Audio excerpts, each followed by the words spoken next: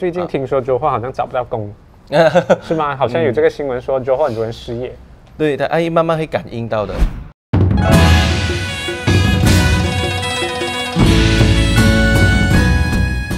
整体国家的国运啊，因为我觉得大家都很担心，因为我们换了政府过后啊，每个人都很期待我们的新政府能够。把我们的这个国家赤字债务降到最低，因为我们的政府很喜欢讲国债，国债，国债，国债，他每次都说我们的国债很高，这样子我们的这个二零二零年，也就是我们的宏愿年啊，宏愿，我们以前小时候就被灌输二零二零是先进，嗯，对，这样子我们在二零二零年，我们整体国运会不会比二零一九年好呢？那如果是小心回答，嗯，这 个这个，如果我们论那个流年它的飞星是吧？那如果我们论的这个是叫做大环境了，嗯，那大环境就是马来西亚就是二黑呢，二黑就是一一颗凶星了，它是病夫星，它是落在南边，嗯，啊落在啊落在左后那一 side 的，哦，所以最近听说左后好像找不到工，是吗？好像有这个新闻说左后很多人失业。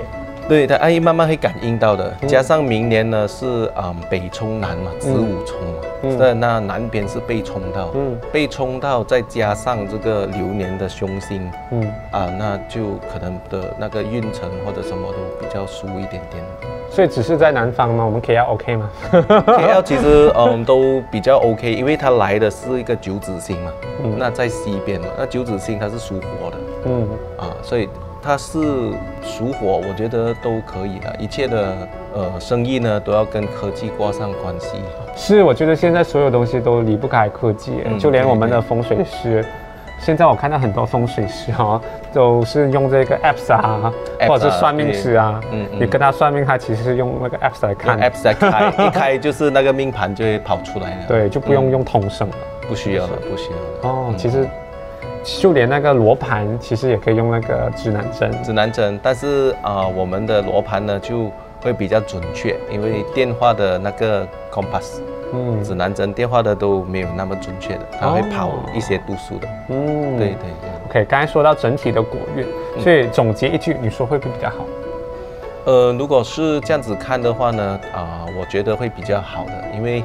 我们西马嘛，西马其实呃整个经济体，那如果它九子星过来的话呢，它是以克的方式，嗯。啊，因为啊这个火火克金嘛，嗯。啊，因为金金年嘛，所以如果我们要创业的话，敢敢创了，这样这样是要看情况啦，因为创业也是要看情况，也是要看行业。有没有说二零二零有什么行业是特别好的？是科技行业吗？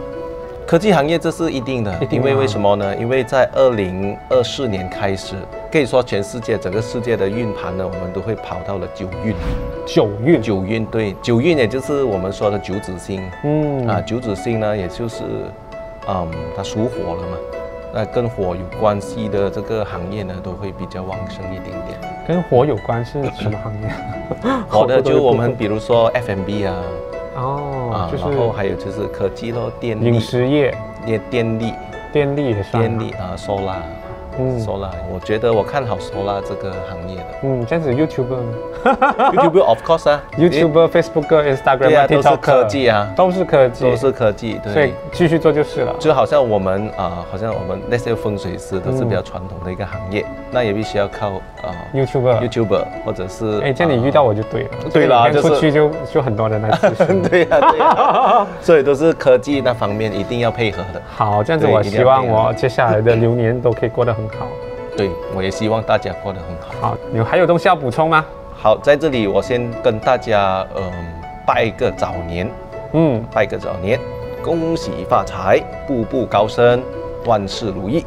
好，这样子呢，我也在这里祝大家心想事成，财富数不尽，健康数不尽。嗯，好，这样子我们今天的这个彬彬有礼呢就到此结束啦。